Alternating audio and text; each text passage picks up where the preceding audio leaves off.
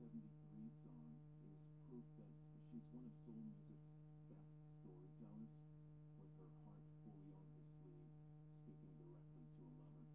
She'd make you feel like you're right there in the room with them during the conversation. Here's Bettye LaVette with the intimate